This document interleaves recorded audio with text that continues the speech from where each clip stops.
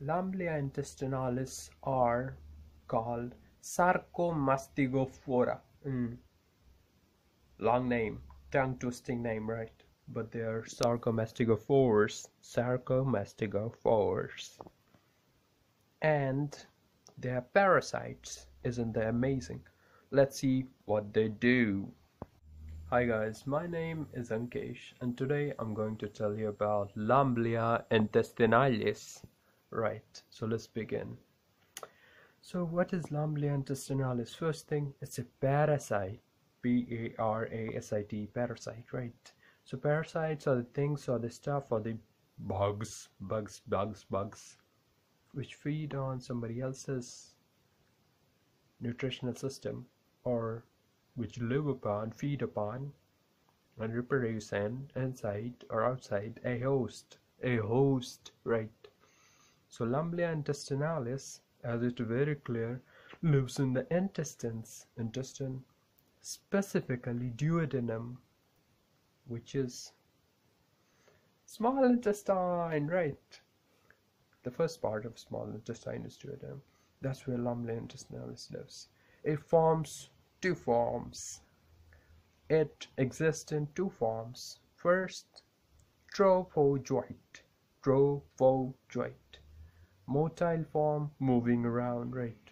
It has flagella for moving right? And second form is cystic form cyst which is immotile and which is formed in adverse conditions. Difficult conditions right? So how does it transmit? It it is transmitted by oral fecal route. Yeah. Poop thing or a fecal.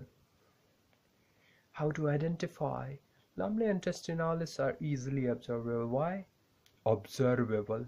Observable because in trophozoite form they have these flagellum coming off. I will put the picture here so that you can see. They are very interesting creatures and uh, how to avoid infection very important.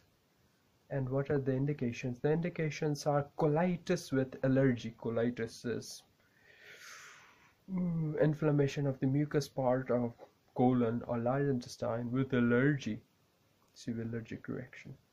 Or while having the bathroom time right? You feel something like cringy that's that might be a sign of Lamblia intestinalis infection. Lamblia intestinalis infection. Right? That's not a sign of Lamblia intestinalis infection because and how to avoid it? Avoiding it is very simple. Don't walk barefoot in tropical countries and always wash your hands after using the toilet. Very easy. Thank you. Now it's a very uh, asked question in exams they ask. Are trophozoites found in feces? Yes they are found but they are not infective. Why? Because they do not have protection. Enough protection or capsular form a cystic form. So the cysts are very tough. Cysts are tough right? So they would infect.